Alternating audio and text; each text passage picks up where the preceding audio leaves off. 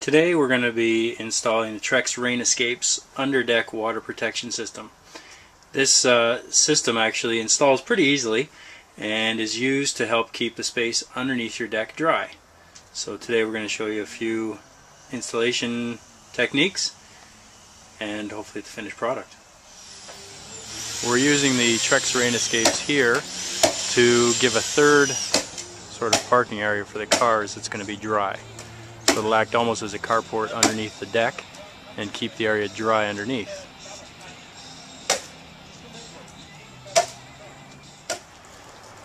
The one thing that I really like most about this system is that it actually goes on above all of the framing components of the deck so you don't have any trapped moisture within the framing cavity of the deck. Most other systems mount below the deck framing so you end up with a cavity between the joists and the underside of your floor which would hold water and moisture and would prematurely rot out the structure of your deck. Whereas with the Trex Rain Escapes, because it mounts on above all of your framing and goes on before your flooring goes down, it protects your structure of your deck actually quite a bit more it'll give you quite a long lasting framework for your deck.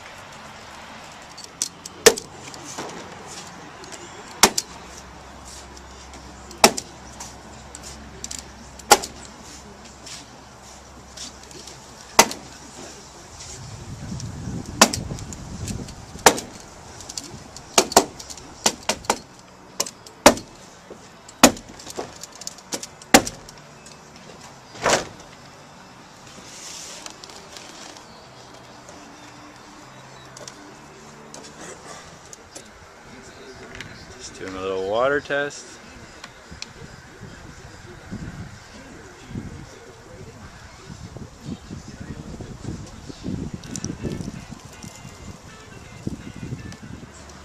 So now we have to tape the overlap between the two different membranes.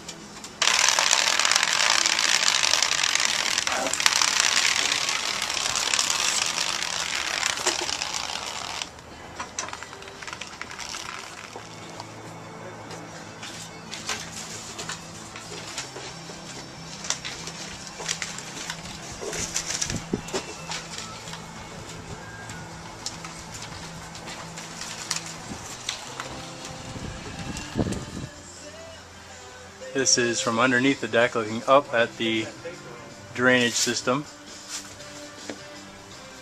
And all the water is going to go from the house out to the front and drain out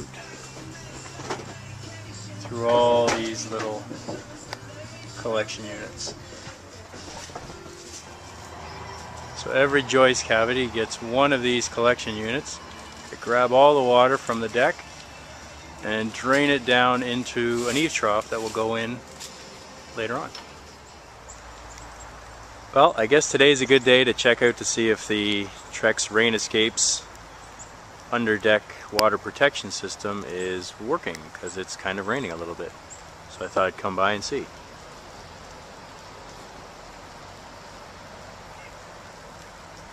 We're not quite finished this deck yet, but uh, we can check out if it's draining any water.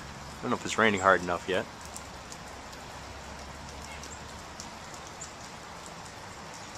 Yeah, a little bit's coming out. Now they're starting to drip pretty good.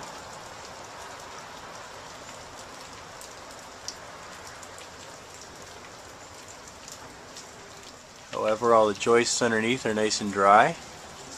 Space underneath the deck is nice and dry. This is where the trough membrane joins into the collection unit and drains out on the other side of the beam where a eave trough will go.